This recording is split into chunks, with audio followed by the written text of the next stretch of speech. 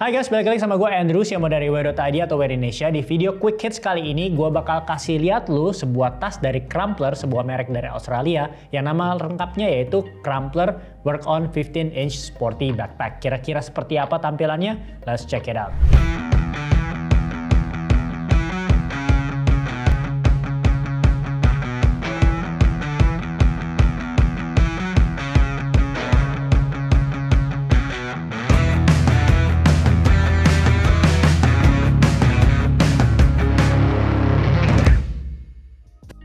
Oke sekarang kita ngomongin terkait desain and material. Mungkin desainnya lu bisa lihat tapi gue jelasin dulu materialnya. Materialnya ini kayak semacam kalau lu lihat lebih dekat semoga bisa di uh, zoom ya nanti di video. Uh, ini kayak agak uh, apa ya kusut-kusut gitu ya agak uh, lecek gitu. Makanya dia terbuat dari 420D crinkled nylon gitu ya.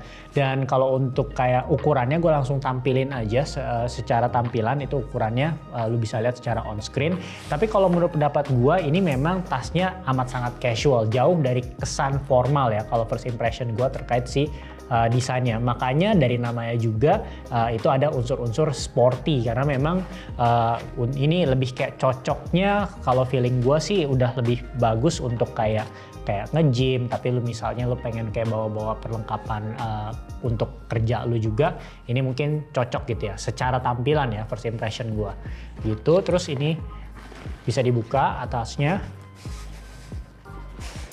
Terus di sini juga ada kayak meshnya di bagian depan. Dan paddingnya sih biasa aja ya, nggak terlalu untuk shoulder pad, paddingnya tuh biasa aja, nggak terlalu uh, gimana-gimana.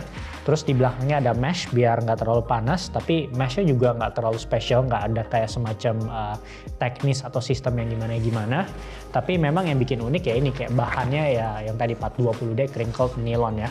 Terus uh, kalau misalnya secara handle juga handle-nya biasa juga, uh, tapi memang di uh, bagian ininya tuh memang sedikit agak tebal dan lebih empuk gitu ya.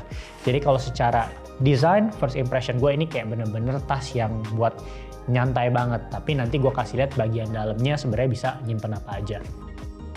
Oke, okay, untuk bagian uh, eksternal komponennya ya, mungkin tadi gue udah kasih lihat ini ada buckle-nya untuk kayak uh, mengencangkan dari uh, form dari si tas ini kalau misalnya udah udah masukin barang. Uh, terus dari bagian depan dia punya front pocket. Front pocketnya gue kasih lihat mungkin nggak terlalu dalam. Dan di bagian dalamnya itu juga nggak ada kayak kantung-kantung uh, lagi ya. Jadi ini benar-benar kayak standar aja.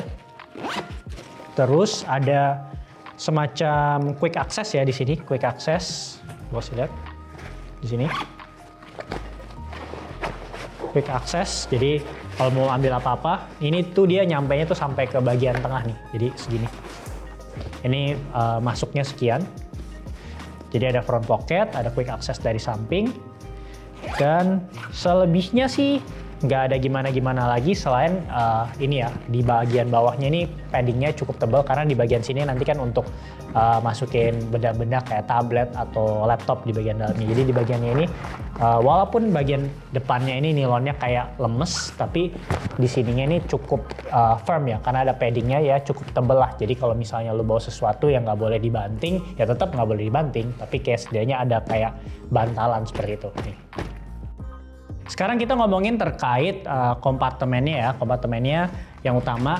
Uh, gue kasih lihat lu dulu, tapi ini yang belakang. Yang belakang jadi sebenarnya itu ya bisa menurut pendapat gue sih bisa buat laptop juga ya. Jadi ini cukup. Nah, tapi yang gue mau highlight di sini, inget ini 15 inch doang, di mana 15 inch itu ngepas. Sedangkan kalau misalnya lu coba ini laptop gue sendiri, yaitu 15,6 itu nggak akan bisa masuk baik di sini ataupun di bagian main compartment yang bagian dalam. Sini lo mau masukin juga, itu akan sulit ya. Maksudnya kalau di sininya sih pasti bisa. Tapi kalau misalnya lo mau masukin tentunya di tempat sleeve-nya laptop kan. Nah ini ada tempat sleeve-nya laptop, gue udah masukin laptop yang 13 inch-nya. Nah itu baru masuk. Jadi intinya kalau misalnya mau masuk ke laptop sleeves-nya, itu harus maksimum 15 inch. Tapi kalau lebih dari itu, ini sekedar contoh, ini 15,6 sebenarnya bisa masuk tapi masuknya di luar laptop sleeves. Jadi bayangannya dalamnya ini kayak ya udah cuman laptop sleeves dan nggak ada pouch-pouch atau enggak kayak kantong-kantong yang bisa lu pakai untuk um, menyimpan kayak barang-barang kecil misal SD card atau apa pun. Jadi benar-benar tas yang amat sangat simple ya. Tapi setidaknya kapasitasnya ini cukup oke okay ya. Ini bahkan gue udah masukin botol air gue. Ini kayak cukup besar ya, satu literan.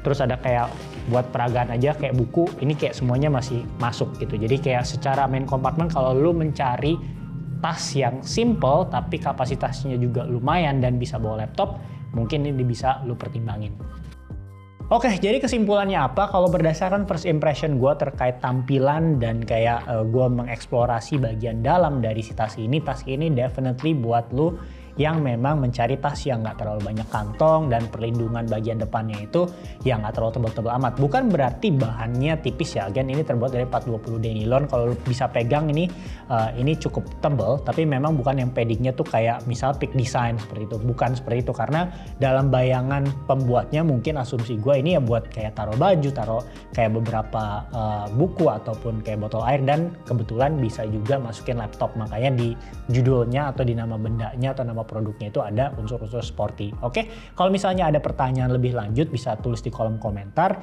DM kita di Instagram @wearindonesia_official dan jangan lupa untuk follow TikTok kita di @wearindonesia_official. Dan kalau misalnya mau support bisa dengan like, share dan komen dan kalau misalnya mau lebih lagi bisa dengan membeli produk-produk yang link situsnya gue udah taruh di description box dari setiap video yang ada di YouTube channel ini.